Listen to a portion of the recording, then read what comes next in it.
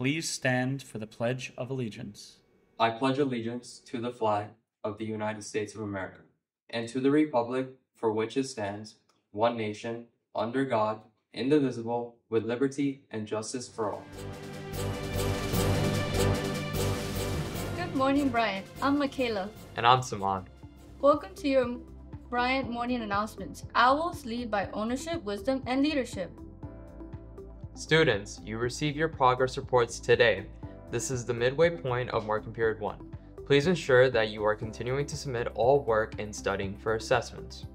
We hope you all have learned something about the Hispanic culture through this month's series, celebrating Hispanic Heritage Month. Latinas and Latinos have always held significant roles throughout our country's history, dating all the way back to American Revolution. Hispanic Heritage Month is important because it provides an opportunity to celebrate the integral part of the Hispanic and Latino community has had in growing and strengthening our democracy.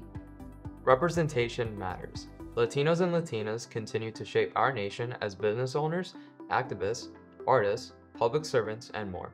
From serving in the U.S. military to being champions in the fight for civil rights, Latinas and Latinos remain strong leaders and changemakers.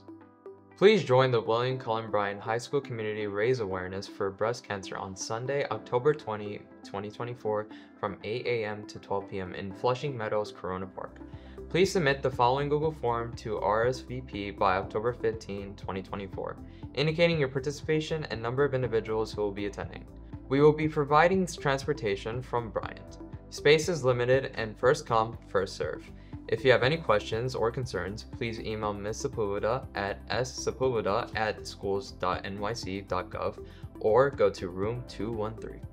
Since Bryant is our second home, let's treat it like one. Please make sure to keep all parts of our school clean by throwing out garbage and recyclables at the nearest can. There are cans located on every floor under each water fountain in every classroom. There will be a boys indoor track interest meeting this Friday, October 18th after 8th period in B8 in the basement. Hi, this is Michaela and this is your Word of the Week.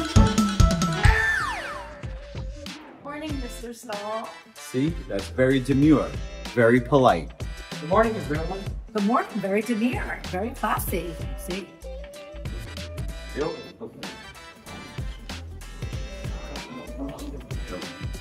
Very demure, very cutesy, very mindful. The word of the week is demure. Demure means modest and reserved. When someone is dressed very well, they have a demure look, very classy. And that is your word of the week. We hope you have a great day and remember to stay gold, Bryant!